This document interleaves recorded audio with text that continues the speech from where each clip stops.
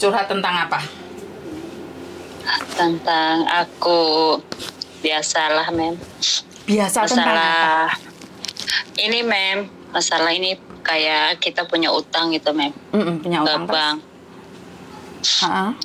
Eh, ini kan aku kan di Hongkong masih Eh, saya kan di sini kan ambil uang hampir 30-an lah mem Eh, Mm-mm. gini mem saya kan perjanjian sama temen gitu mem Mm-mm. eh habis itu kita hubungin susah mem Oke. saya juga bingung Mm-mm.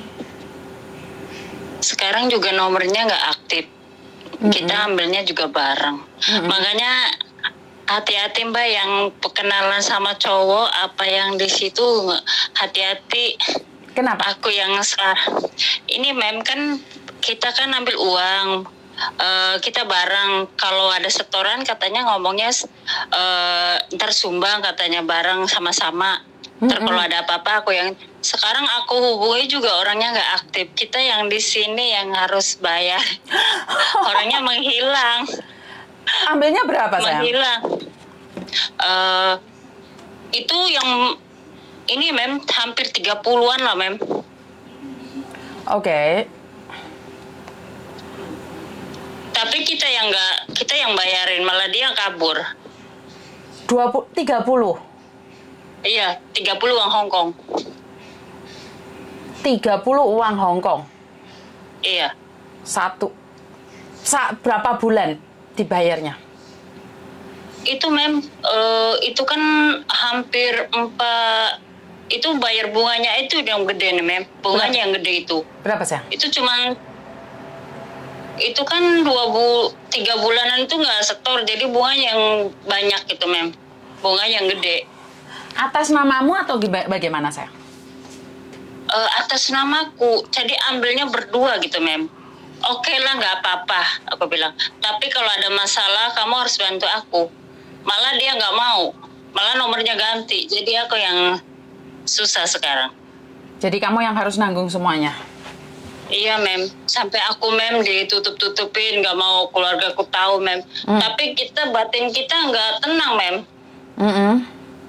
kepikiran terus. Sampai aku ngomong sama orang tuaku, Mm-mm. gimana caranya ya kamu harus tanggung jawab sendiri katanya, gitu. Jadi kalau punya utang kita kepikiran mem, kita gaji segitu, kita juga gajinya kecil kan. Ah, ah, ah, ah, ah, ah, terus? Dan kamu dan kamu nggak cukup buat dirimu sendiri aja nggak cukup terus bay- harus bayar utang segitu banyak. Iyalah mem nggak cukup. Kita aja di Indo butuh duit. Terus kamu sendiri ada solusinya nggak sayang? Nggak. Ya bingung mem, aku juga mau pinjam sama saudara gak nggak mungkin di kampung. Kita orang nggak punya, susah. Berapa lama kamu di Hongkong sayang? Aku hampir empat tahun mem. Empat tahun. Terus kenapa kamu bisa tertipu sama temanmu ini sayang? Aku dulu nggak, dulu nggak mem, mem. Aku dulu nggak ya, udah ke- bikin rumah udah ke kontrak dua kalinya itu mem. Dulu saya juga takut, cuman kita karena lagi butuh duit kepepet mem. Jadi juga nggak izin sama orang tua, jadi diemin aja satu tahun itu nggak aku nggak pernah ngomong orang tuaku. Pas aku ada masalah baru aku pelan-pelan ngomong sama ibuku, ibuku nangis. Mhm, mhm, mhm.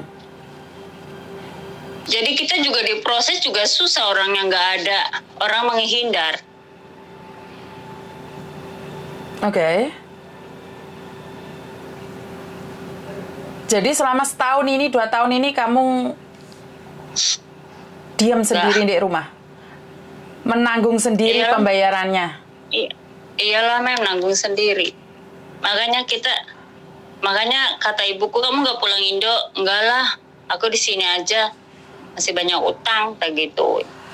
Dok, gimana sih kak? Kok kamu bisa percaya kalau kalau punya utang bareng itu gimana sih?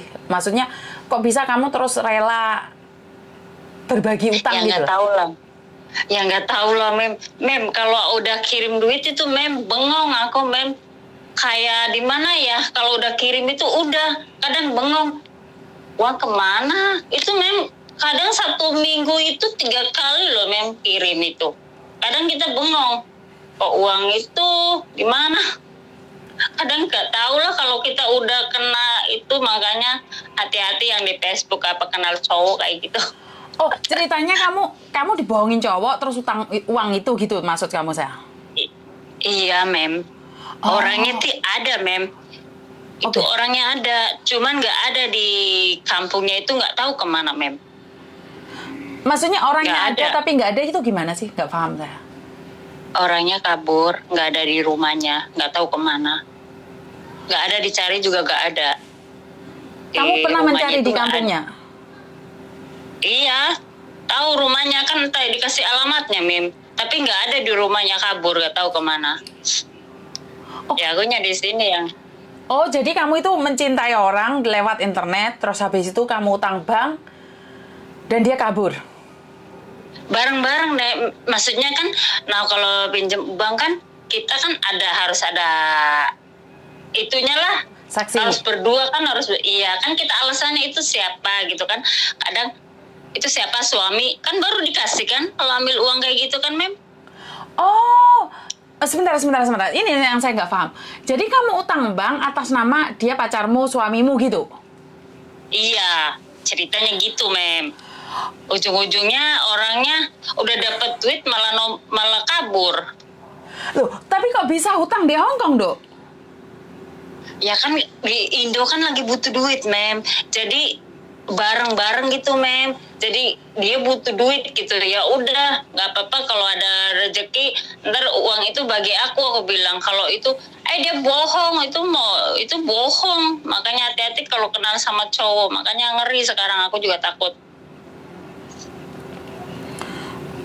Wah, bahaya itu. Aku juga gitu pusing kadang dipikir-pikirin.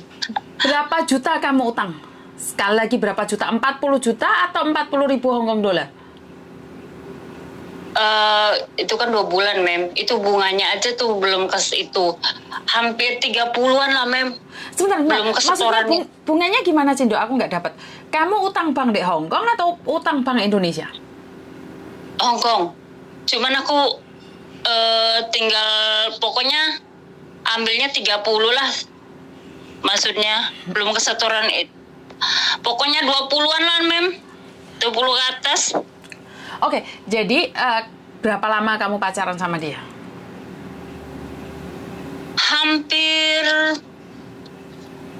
pokoknya hampir hampir dua mau dua tahun lah Mim. kurang lah kurang empat bulan Terus sekarang orangnya hilang setelah dapat uang. hilang menghilang orang saya sekarang aku yang dikejar-kejar dia menghilang mem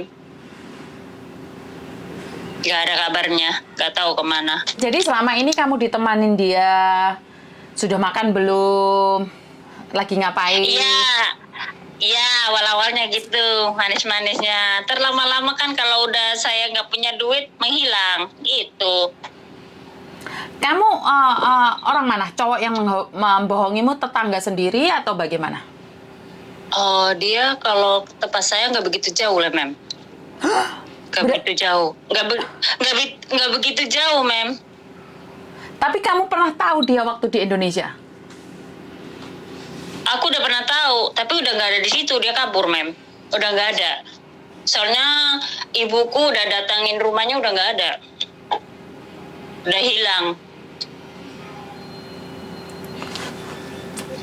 Susah udah menghilang nggak ada di kampungnya juga udah kabur aduh bingung aku. Jadi kayak kayak sedih kayak kayak galau kayak kecewa banget.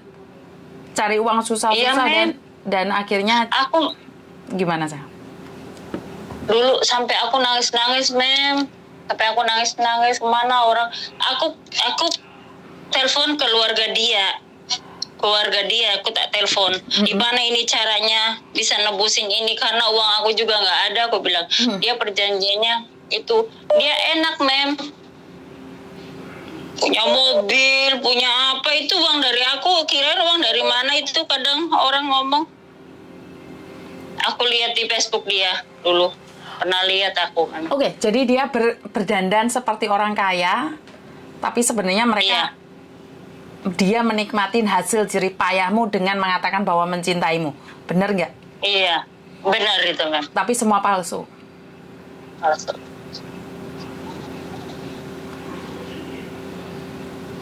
Ada pesan nggak buat teman-teman yang lain agar tidak mengalami hal yang sama seperti kamu? Gak. Ya aku udah aku pernah ya cerita juga. Dia kaget juga mem. Kok bisa katanya? Ya nggak tahu aku bilang. Tapi Kayak ternyata orang kayak orang di notice gitu mem. Bener. kamu dihipnotis Kita- atau karena jatuh cinta? Ya nggak tahu lah mem. Nggak tahu lah. Karena kalau orang jatuh cinta, mungkin kalau hari ini aku mengingatkan kamu, mungkin kamu akan ngelawan. Enggak lah, Mem, dia mencintaiku. Mungkin seperti itu. Bener nggak? Iya, iya itu mem bener. Karena itu, eh, eh, Kayak kena gimana? Uh, uh. Kalau ini mem, kalau dia nggak telepon, kayaknya aku tuh ingat terus sama orang itu. Jadi kamu benar-benar mencintainya. Iya kayak orang di apa lah men. Pas itu pas uangku udah habis semua, dia menghilang, nggak ada pun ceri, nggak ada pun. Gue tak telepon nggak aktif. Facebooknya juga beda lagi, makanya aku susah ngutik-ngutik ke mana. Tanya, aku juga nggak tahu nomor saudaranya juga nggak punya. Lah kenapa kamu kasihkan uang semuanya, Dok? Tujuanmu apa kamu ngasih uang ke dia? ya gitu ya kita cuma membantu doang gitu tapi kan ya kayak gitu kan kita kan hubungan gue bilang kamu kalau mau hubungan saya ada buktinya kalau nggak ada buktinya ngapain iya kan Hmm? Nggak ada buktinya ngomongnya mau mau gade sawah apa nggak tahu? Oke saya kasih. Tapi uang itu harus balikin. Kan modal sawah itu kan gede modalnya. Hmm? bohong itu uangnya buat bisnis bisnis enggak bohong. Aku gini. tanya temannya dari Facebook itu. Bohong katanya. Ya udah aku Gini, Mbak. tapi Pertanyaan saya, eh, kamu pernah video callan nggak pakai baju atau seperti apa? Pernah nggak? enggak enggak Oh, masih untung. Nggak. Masih untung. Karena kamu Nggak. tahu kan di YouTube sama di Facebook itu selalu banyaknya adalah sudah ngasih uang, masih tubuhnya diperlihatkan kan sakit di hati. Tapi selagi kamu enggak dan padahal di YouTube sudah sering kali ya hati-hati jangan kirim uang bener nggak? Kamu sudah dengar berkali-kali kan? Tapi ternyata Iya. Kenapa kamu tidak sadar saat ngelihat YouTube saya itu? saya tuh nggak tahu itu mem baru sekarang sekarang aku lihat aku nggak tahu mem bener Oke. aku nggak tahu Setelah kamu tahu menurut kamu seperti apa? Ah, yang cerita-cerita itu benar atau settingan menurutmu? bener lah mem bener aku lihat semua Jadi kamu merasa bahwa apa yang saya katakan dan yang telepon itu adalah orang benar. Sama seperti kamu hari ini telepon aku, benar nggak? iya iya bener mem Jadi intinya adalah jangan pernah percaya sama laki-laki yang kenal lewat Facebook, begitu menurutmu? Iya, iya, iya, mem. Jangan sampai. Soalnya Facebook itu kan kita kalau udah kenal sama cowok, kalau udah apa ya, udah cocok ya udah langsung kan. Kadang-kadang kan, Mm-mm. iya benar mem, aku nggak bohong.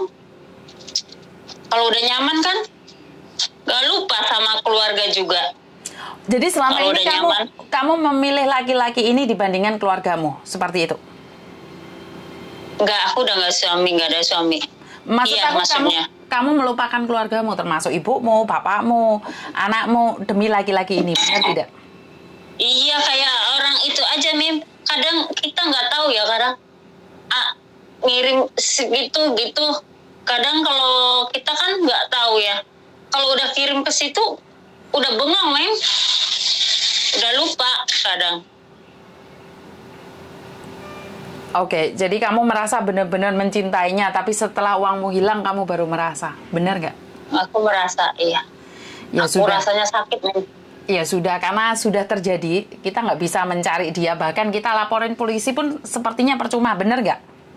Iya, percuma orang nggak ada di situnya. Uh, uh, jadi intinya adalah samen samen ingin memperingatkan teman-teman yang lain agar jangan sampai terjadi ini pada kalian seperti itu, benar nggak? Iya, iya benar mem. Yowes, terima kasih sudah memberikan informasi pada saya dan saya akan menghimbau pada teman-teman yang lain agar jangan pernah mudah percaya pada sosial media, benar nggak?